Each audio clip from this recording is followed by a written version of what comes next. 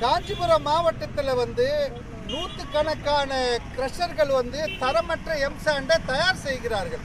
இதை வந்து ஒரு மாதத்துக்கு முன்பு காவ மாவட்ட நிர்வாகத்திடம் தெரியப்படுத்தியும் இன்று வரை அது நடைபெறுகிறது. காஞ்சிபுரம் மாவட்டத்திலிருந்து இருபது லட்சம் டன் எம்சாண்டை வந்து பங்களாதேஷுக்கு கடத்த முயற்சிக்கிறார்கள்.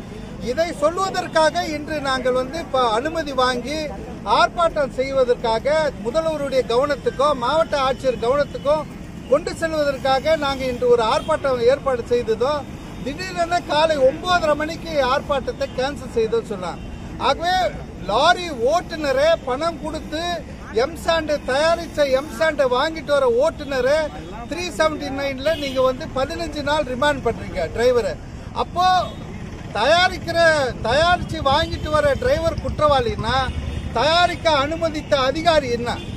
பணம் கொடுத்து வாங்கிட்டு வர நான் குற்றவாளினா அந்த இடத்துல தயாரிக்க அனுமதி கொடுத்த மாவட்ட ஆட்சியர் காவல்துறை கண்பா கண்காணிப்பாளர் கனிமவளத்துறை அதிகாரிலாம் என்ன பொறுப்பேற்றுக்கிறது ஆகவே காஞ்சிபுரம் மாவட்டத்தில் தொடர்ந்து இரண்டு மலைகள் வந்து உடைந்து விபத்து ஏற்பட்டு பல உயிர்கள் பாதிக்கப்பட்டது. ஆகவே தொடர்ந்து இந்த தரமற்ற எம்சான்னால மக்கள் பில்டிங்கு புலித்தோப்பு போல சம்பவங்கள் நடைபெறாது இருப்பதற்காக உடனடியாக அனுமதி இல்லாத கிறிஸ்தவர்களை மூட வேண்டும். அப்படி மூட தவறினால் நாடு தழுவிய மிகப்பெரிய போராட்டத்தை தமிழகம் முழுவதும் எடுத்து செல்வோம்.